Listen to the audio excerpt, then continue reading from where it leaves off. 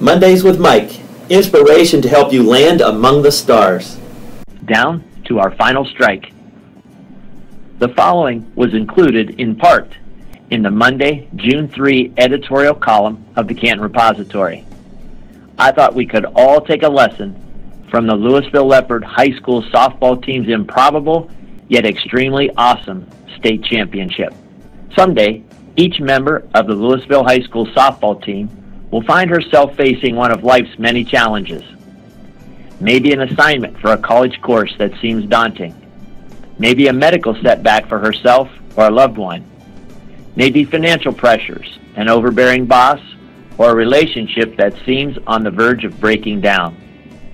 At that moment, whether it be a few months from now or decades into the future, each of those lady leopards need only to close their eyes, take a deep breath, and say, I've got this. You see, the leopards were behind by three runs and down to their last strike of the game.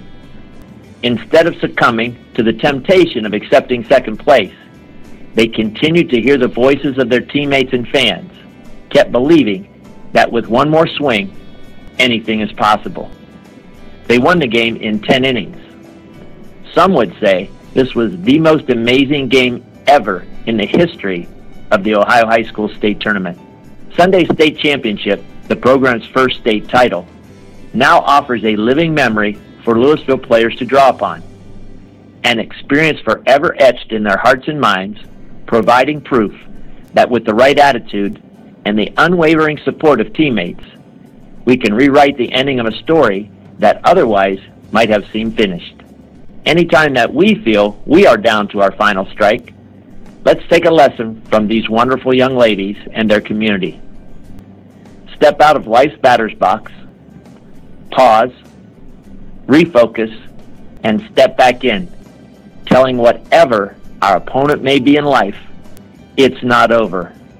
I've still got one more swing. Have a great week.